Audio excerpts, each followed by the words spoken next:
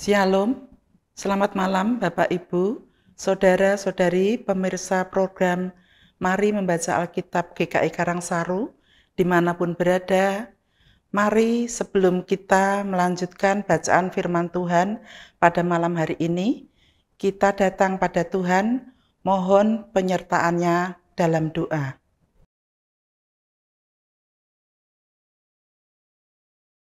Puji syukur kami panjatkan pada Engkau Tuhan Yesus Kristus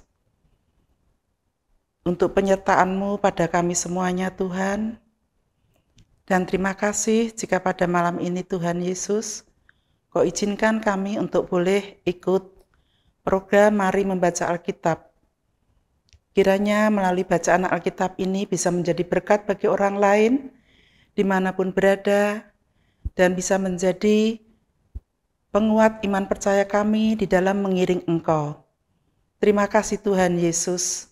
Di dalam nama Tuhan Yesus, doa ini kami panjatkan. Amin.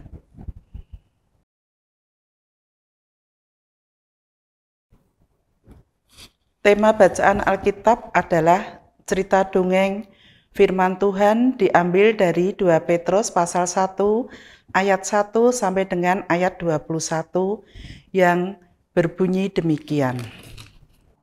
Dari Simon Petrus, hamba dan rasul Yesus Kristus, kepada mereka yang bersama-sama dengan kami memperoleh iman oleh karena keadilan Allah dan juru selamat kita, Yesus Kristus.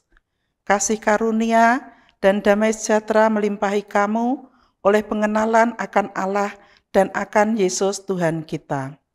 Karena kuasa ilahinya telah menganugerahkan kepada kita segala sesuatu yang berguna untuk hidup yang saleh dan pengenalan kita akan Dia yang telah memanggil kita oleh kuasanya yang mulia dan ajaib.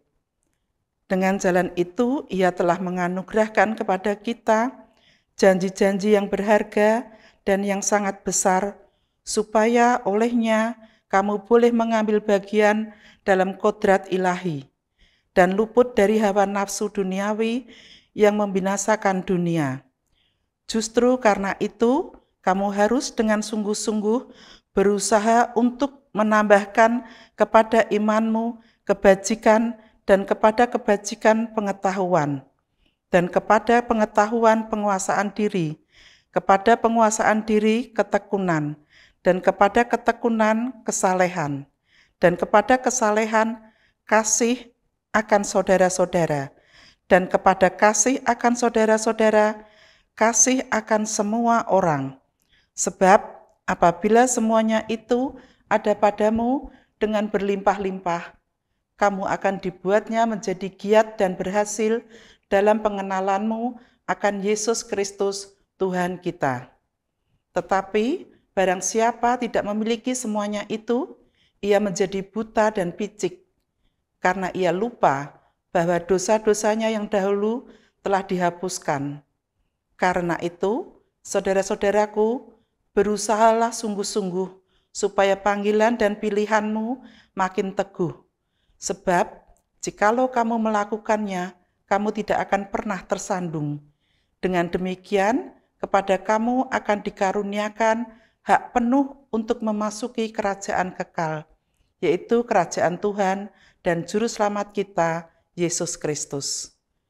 Karena itu, aku senantiasa bermaksud mengingatkan kamu akan semuanya itu, sekalipun kamu telah mengetahuinya dan telah teguh dalam kebenaran yang telah kamu terima. Aku menganggap sebagai kewajibanku untuk tetap mengingatkan kamu akan semuanya itu.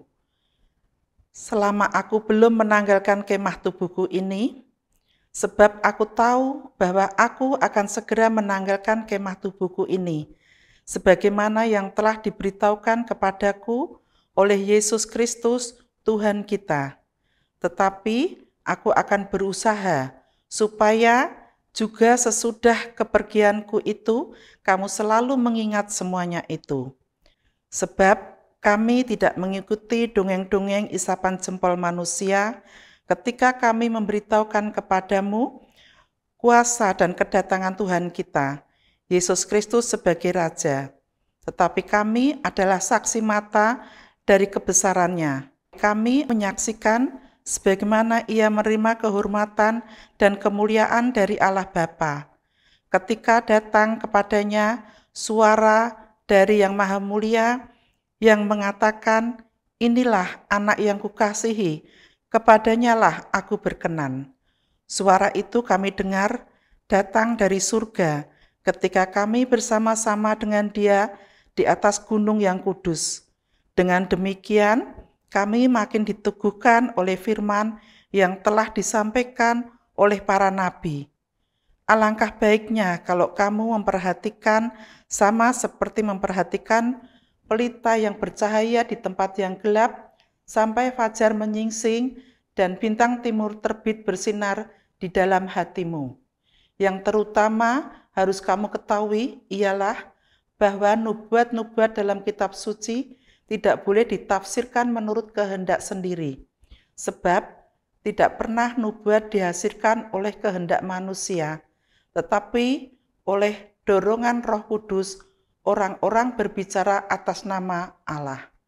Demikianlah sabda Tuhan, syukur kepada Allah. Selamat malam saudara-saudara.